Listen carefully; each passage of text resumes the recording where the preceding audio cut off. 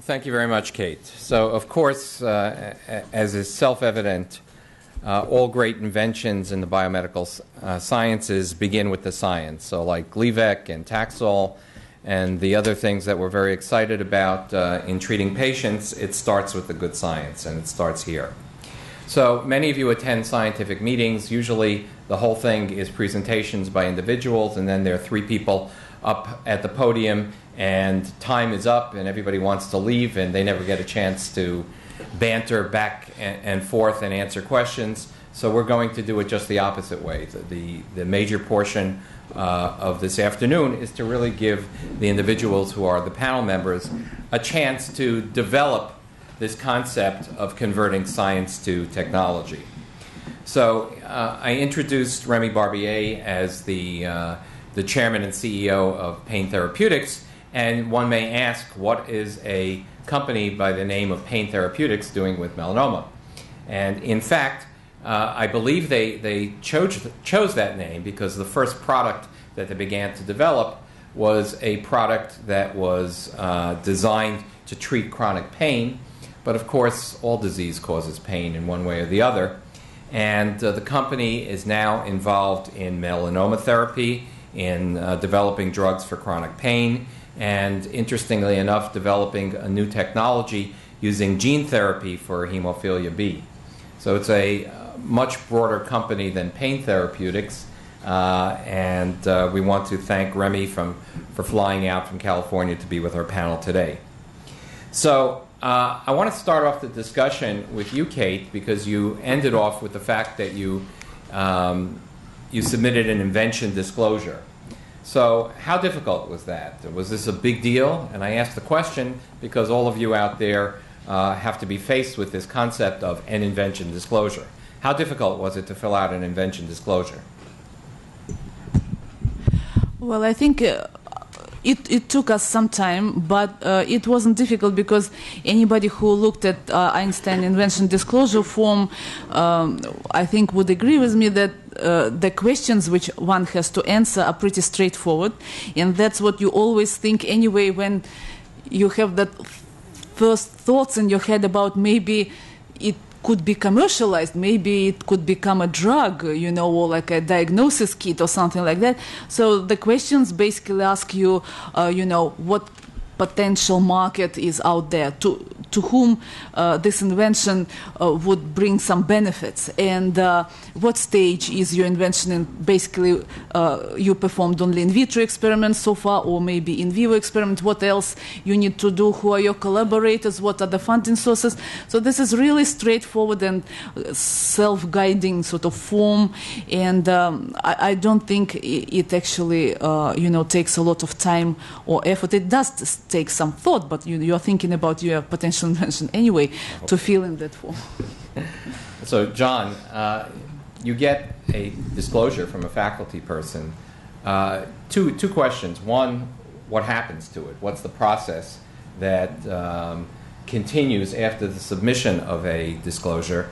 And also, when should faculty be thinking of presenting a disclosure to the Office of Biotechnology versus preparing a manuscript or submitting a manuscript? Oh, well, I guess I'll answer the first, the second question first, and that is clearly it's in the, the inventor's interest to file the invention disclosure with us to give us time to file a patent application well in advance of submitting a manuscript for publication because the consequences of publishing before we have a chance to file the patent application is that you lose foreign rights. So basically, when there's a public disclosure, which would be your your manuscript being published, the you have one year in the United States to still still file a patent application. But if that publication comes out before you file the patent application, you've lost the ability to file internationally. So there is a, a timing issue here with all of our invention disclosures. The, the first part of your question about what happens is that Einstein has a, a patent committee.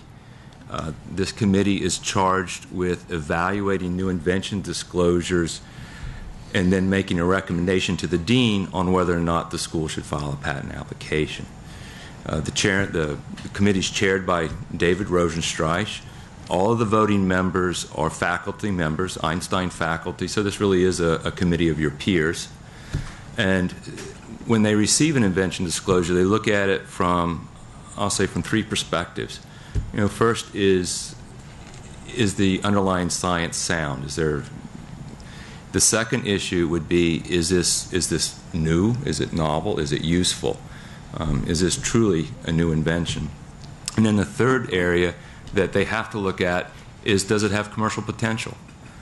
And this is very important because you have to understand that just to get to the point of filing, say, a U.S. utility application, it can cost as much as $20,000. And to get to an issued patent, that amount can double. So this is every in- invention disclosure that we go forward with is a significant investment on the part of the college. So it can be a wonderful science, it can be a great new idea, but if there's not at least the potential for a commercial return, it's the, the committee's responsibility not to recommend going forward. So the patent committee meets, and um, let's say they decide to proceed with patenting. Then what does your office do then? Well, sort of two things. One, the, the next step is obviously we send it to patent counsel. We use outside um, patent counsel with instructions usually to go ahead and file a patent application, or at times they'll do an initial evaluation to determine whether, if there are questions about the patentability, they'll initially do an evaluation and provide us feedback on that, and may, that's a decision point. If not, the typical approach is that we instruct patent counsel to go forward and they'll follow, file what's called a provisional, a U.S. provisional patent application. So the Office of Biotechnology is involved in several aspects of this process. One is getting these inventions patented, but uh, more important for the scientist or the inventor is getting them licensed. So, what is licensing? How do you license things? What does licensing mean? And specifically, uh, what did you try to do for the melanoma invention? So, well, licensing in effect is, is finding a commercial partner and giving them the rights to develop the technology and take it forward. Uh, in a case like this, it's an exclusive license where and Remi has a, what's called a worldwide exclusive license. In other words, nobody else can practice this. We haven't given anyone else the right to practice any of these technologies.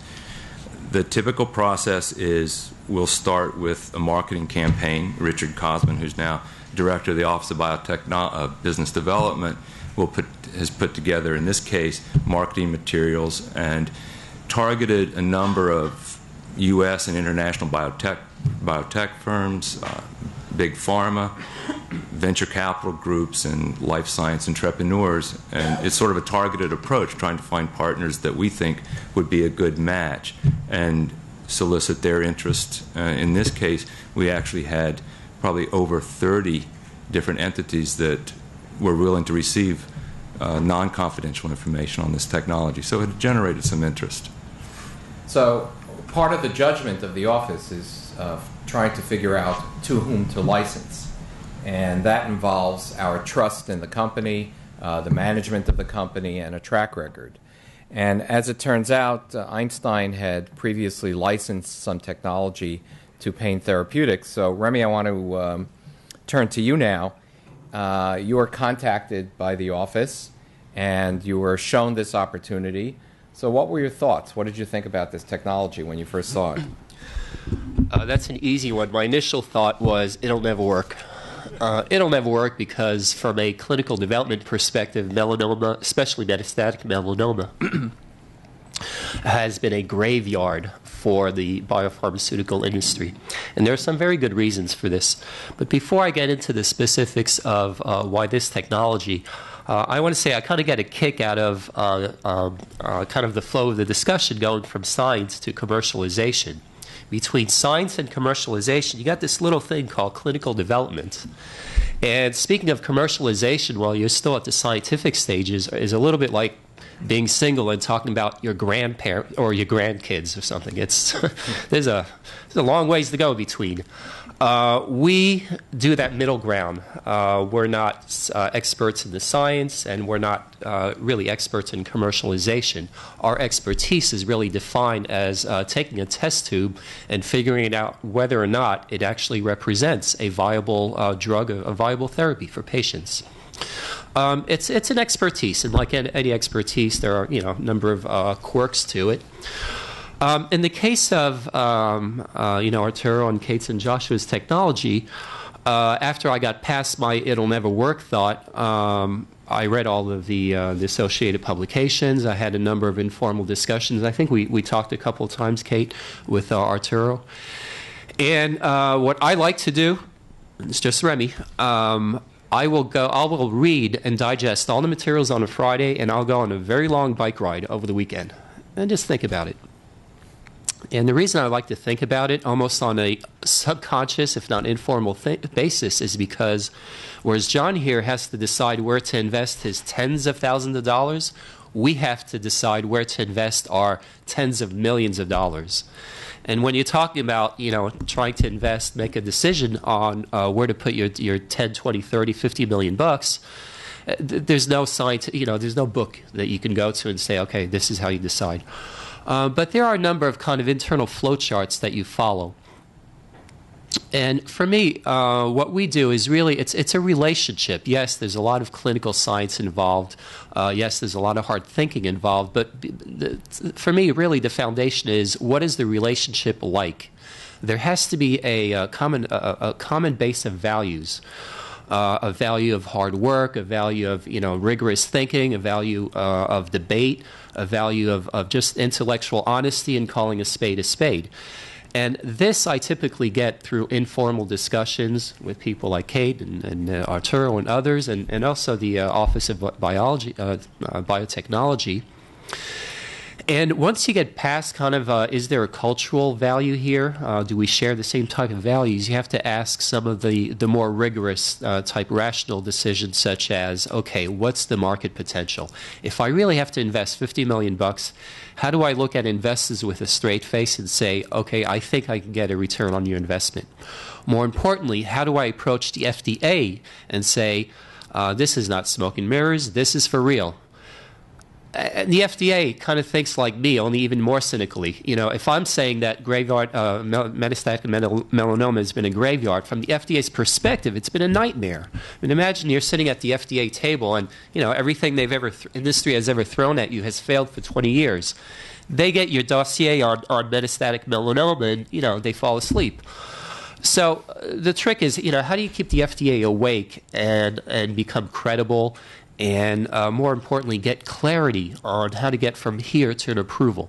It's a very, very tricky process, and there are no, again, there are no guidelines. Uh, but you talk to former regulatory uh, people, you talk to advisors, you talk to people who've been there before, you talk to clinicians, you talk to patients. Uh, again, that theme of a relationship comes to mind. You just talk and you listen. You ask a lot of hard questions.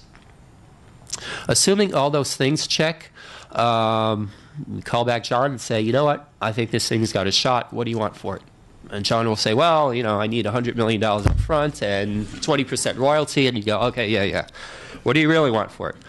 So then you come to terms. Um, actually, and you know, some companies, if not some people, make careers out of negotiating these things. I don't. We have a template at Pain Therapeutics, my company, about what we can pay for our early stage technology. And very early up front, I say, this is our template. Here's how we've done two, three science uh, deals before. Uh, if you think your technology fits our template, happy to talk and tweak what works for you. But I'm not going to make a career out of uh, you know, negotiating something that uh, I may not be able to. Uh, fortunately for both myself and uh, Office of uh, Biotechnology, everyone was very reasonable. I think we did disclose our template as evidenced by our earlier transaction with with John, and you know we reached a um, um, kind of a mutual ground and signed the paper. Called the lawyers, paid them a lot of money, and then signed the paperwork. Um, part of the the process uh, and probably the most important component here at the early stages is getting the scientists involved. Without scientific, and without involvement of the scientific uh, uh, kind of parents, if you will, I, I will not touch a uh, new technology. So if Kate or Arturo or others had said, you know, look, here's here's everything we have, you know, pay us, goodbye, good luck, I'm out. Um, what we're looking for, as in any relationship, is a give and take. And of course, that costs money, so we don't mind. In fact, we want to pay for uh, you know research collaboration. We want to offer financial support. I think it's both a uh, it's good business, but also it's uh, uh it's good for the program. In fact, it's a necessity for the program. So while, while, while you're while you're catching your breath there, you, you're engaging the scientists, and presumably, uh, and I say this for the audience because you know the answer, uh, you, you would want them to be consultants to the company. Um, so this is a good thing, I presume. It's, it's not just a good thing; it's a necessary thing. So w- one of the aspects of this relationship between uh, the academic uh, university and uh, working with companies is managing appropriately the ability of a faculty rem- member to carry on their responsibilities of as a faculty person uh, and to do this without a conflict of interest or a conflict of commitment. And that's one of the things that good partners, mm-hmm. such as, as Remi, allow our faculty to do. So they are able to act as consultants for the company, being monitored all along for conflict of interest uh, through John and through Mike Reichgott and other people uh, who are involved in these things, but yet provide useful advisory role and be recompensed actually mm-hmm. as consultants. And I think that is part of the responsible activity and responsible conduct of research uh, that has to go on anywhere. Uh, so, Kate, you you uh, it was alluded to that uh, Remi wanted to sponsor research in your laboratory or Josh's or combined laboratory. Uh, how useful uh, was this research money? What, what did it allow you to do? I don't mean the specific experiments, but was this important? Well, it was very important because um, the uh, way we performed the experiments in mice, which were sort of proof of principle experiments, and the way we labeled antibody and do all other. Um, you know procedures leading to the radio labeled product uh, they are working in the lab but uh, those methods and those procedures are not suitable for uh, translating it without any change into humans, right? Because uh, everything uh, which goes into humans have to be performed uh, in sort of GMP uh, uh, facility, be sterile, uh, pass all those sterility pyrogenicity tests, and has to be not foolproof, but you know it will be performed by not a scientist, but by in this case, for example, a nuclear medicine technologist, in a the whole suit, you know, in GMP facilities. So you have to make the whole procedure extremely uh, robust and working and fail free. free. So um, when we had that agreement with uh, Pain Therapeutics for uh, that they will give us money for research, that's what we spent two years in collaboration with uh, you know researchers from Pain and from Goodwin Biotechnology, and that's what we did. We completely revamped the whole um, radio labeling procedure. I mean, we made it um, much more easier and straightforward and robust than it was before. Purification also because the radio labeled antibody still contains some free isotope. Purification also took us maybe a year uh, to figure out how to do that purification in that GMP uh, suite. But uh, also uh, when we were doing it, there is uh, you know always some time when when you you know say doing some experiments required by this, but you also have some free time uh, and uh, during those years, we performed a lot of experiments which sort of move uh, that treatment further. We, for example, did a lot of experiments with peptides, um, which are binding to melanin, and those also were made by Josh when he was in Arturo's lab. We radio labeled them, performed mouse experiments, published the results, proved that that could be in the future potential uh, uh, alternative vehicle for treatment of melanoma. Can can I And- interrupt? Yeah. So, this sponsored research and the work that you actually did, did that have any positive uh, or neutral effect on your your day job, which is uh, NIH-funded research? We're able to use some of the data that was generated from the company-sponsored research and apply that to new applications to NIH? Yes, it's definitely uh, possible, and uh, we did it. Not that you know, like NIH was very welcomed, because as I said, I mean, melanoma community is very exclusive, and uh, you know, for somebody from completely different field to break in, uh, it is difficult. But yeah, I mean, uh, those results they helped us a lot in grants application and uh, in publishing a lot of papers. I'd like to add a a point about this. Um, it's also very important from a um, the industry perspective that the scientific and clinical partner not treat us as a bank. We have a good nose for sniffing out those who might treat us as a bank. Uh, likewise, it's important for us as an industrial partner not to treat the scientists and the clinicians as you know kind of um, uh, you know once a quarter uh, consultants, if you will. Um, it truly is a relationship, and it only works uh, as hard as the both parties uh, are willing to make it work.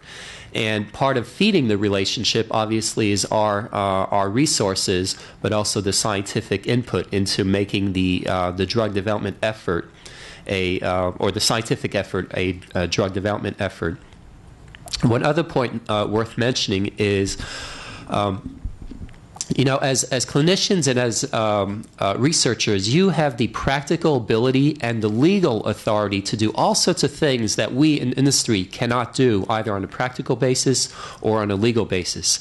I.e., the uh, clinicians in this room are licensed uh, to go in and kind of, you know, you can test a few low dose drugs in selective patient populations and probably get away with it. And if you see some benefit, that's great. You can kind of increase the. Uh, okay, we, we can't do that.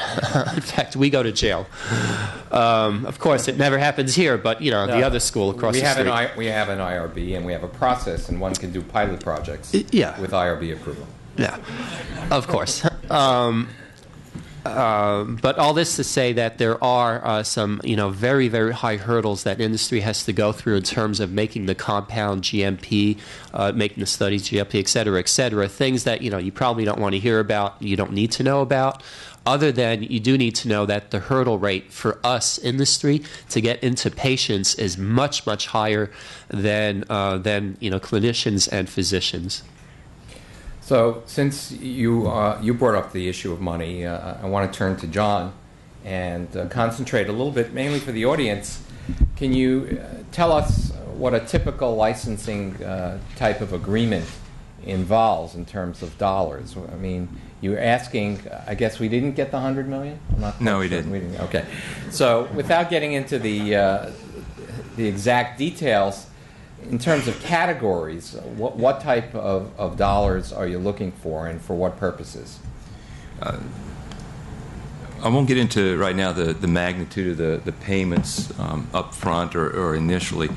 Um, basically, this is, we have sort of our template as well, which sort of fits pretty neatly with, with Remi's.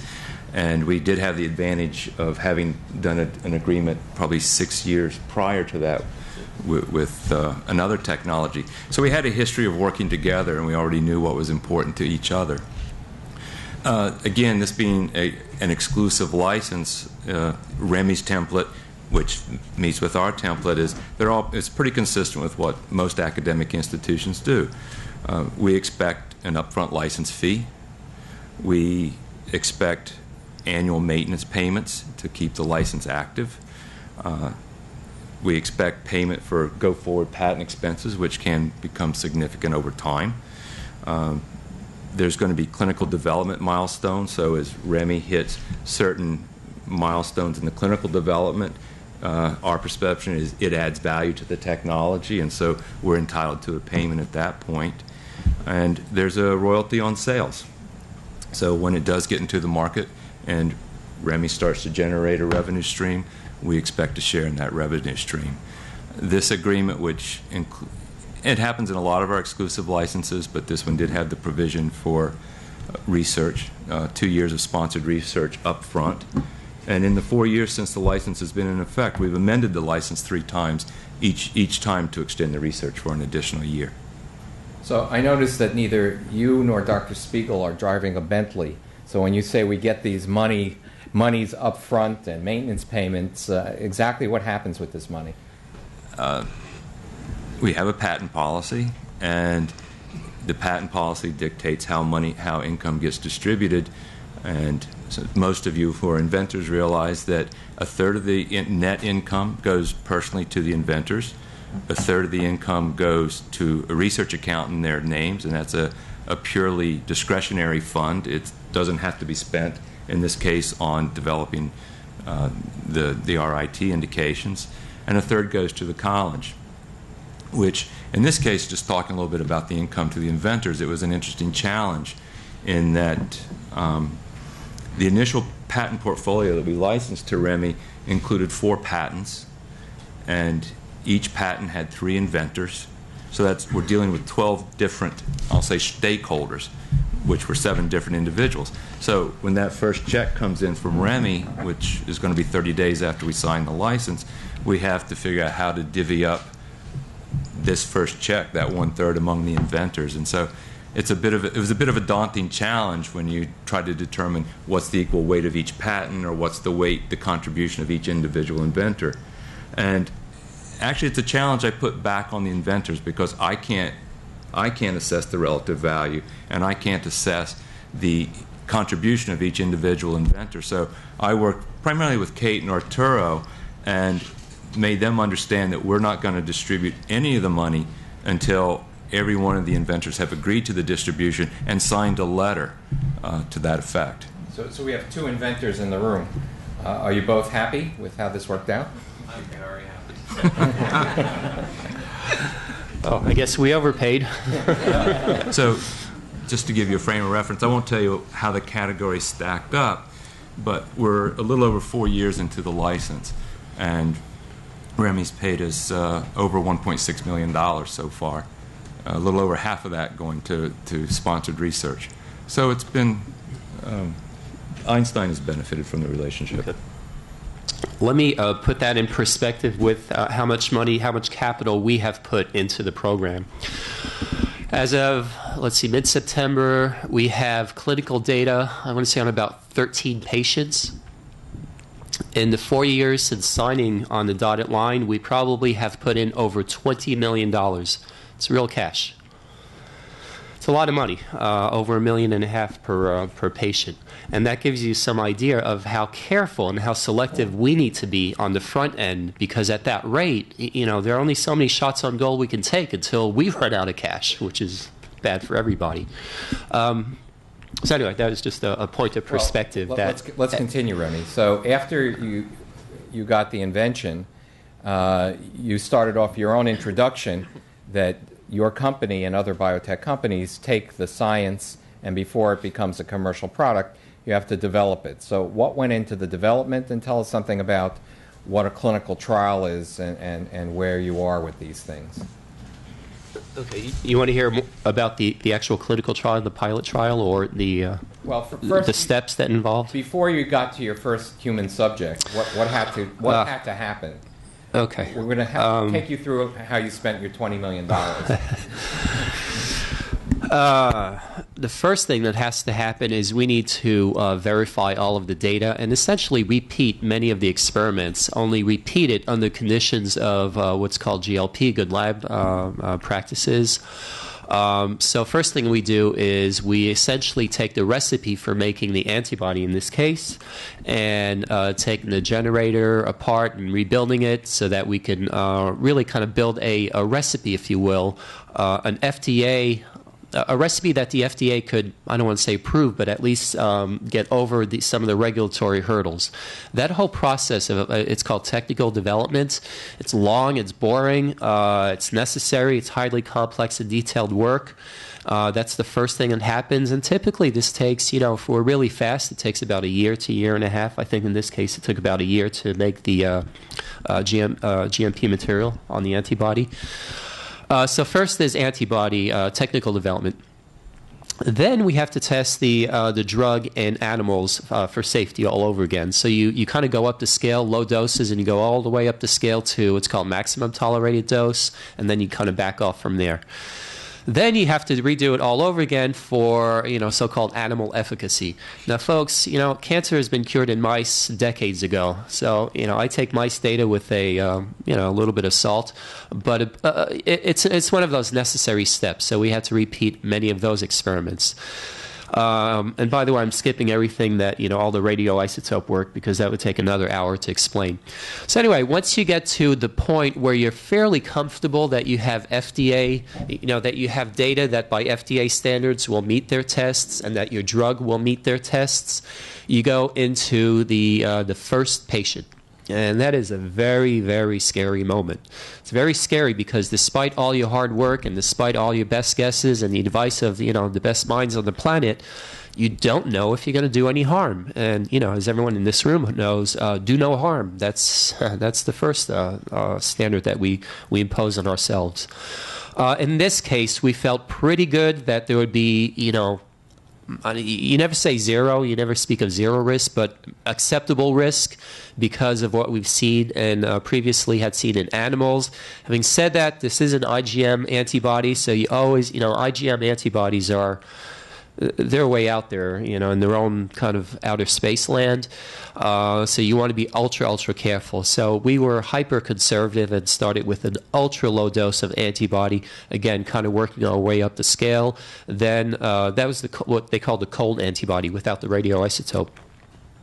And then once we got some relative comfort on the activity, the biological activity of the antibody, uh, we attached a, a, very small dose of the radioisotope. Kate, I forget, maybe I, I don't know if it's 10 millicuries. 10 millicuries of the radioisotope, which is, you know, it's, it's trivial. Um, especially given that these patients, they're all, you know, they're dying. This is all uh, in patients, not in healthy volunteers. Uh, and then you work your way up the scale where you increase the antibody, increase the radioisotope, increase one, increase the, uh, and you kind of work your way up until you get to a point of, um, again, I don't want to say maximum tolerated dose, but kind of acceptable um, you know, acceptable side effects in patients who are, who are faced with, you know, essentially a death sentence. And then you back off from the dose, and that becomes the actual uh, proposed clinical dose for a real, uh, you know, pilot clinical trial. So where are we today? Four years into the effort, we're probably a couple, I would say, three or four months before we can actually define the dose where we see real biological activity that in our estimate, and yes, collective estimate, uh, would probably correspond to a clinical activity in a, a dying patient. So stay tuned. We're, it's, it's, it, it's kind of exciting in a way because we're almost there. We're almost at the start, but we're not quite there, but we can certainly see it just months away. So I have two more questions. So, Kate, as a scientist, how do you feel, or how did you feel, where the laboratory effort that you and Josh and Arturo engaged in as scientists, what was your emotional reaction to the fact that this was now being tried in human subjects who had melanoma? Well, I think it feels extremely gratifying that, you know, when you do your research and you always hope for the best, for the stellar results, but, you know, uh, sometimes, and the, your results are really nice, but they're just not trans- translatable into um, you know the, the, clinic but here uh, you know and uh, plus you know uh, it wasn't easy for us as i said to break into melanoma field there was a lot of frustration rejection of the papers and when finally it, it, became clear that after all those efforts and the development, we will be uh, in people say in, in a month or in a week. And then um, in spring of 2007, I went uh, to Jerusalem where the clinical clinical trial is conducted, just to help the um, doctors over there with the uh, radio labeling part. Um, and that was, uh, you know, unbelievable feeling that in a couple of weeks, uh, the first patient will be injected with something which was in the lab and it, which was just a dream, and you know we made it all, all the way to the point. So, last question. Yeah, Can I add something? Um, you know, it's very important to us that we actually see uh, the twinkle in scientists' eyes when we're, we're, we're close to that first patient.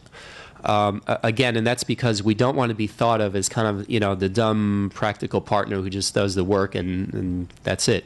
Uh, we need scientists who are really turned on by uh, making a difference, making an impact on clinical medicine. If you don't get your jollies on uh, making a difference in patients, it's probably not the right thing to do.